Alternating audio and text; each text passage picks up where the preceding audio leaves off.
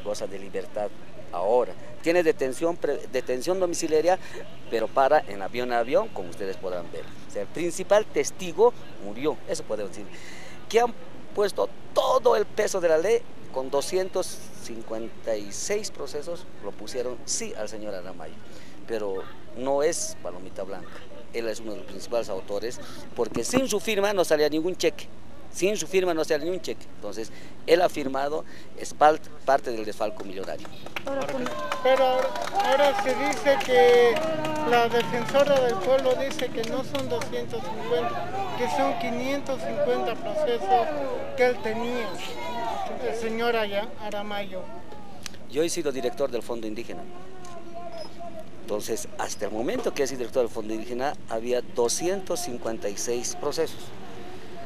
Como parte denunciante hemos pedido la acumulación, porque ese sí es inconstitucional, ese sí que han violado el debido proceso, porque tenía que tener un proceso de varios proyectos que ha hecho Fantasmas, etcétera, pero tenía procesos a nivel nacional, tenía procesos en, eh, en las 10 ciudades, ciudades intermedias, tenía varios procesos, ¿no? Eso, es lo que corresponde. ¿En, qué, ¿En qué queda ahora el caso con el fallecimiento del señor Adamayo?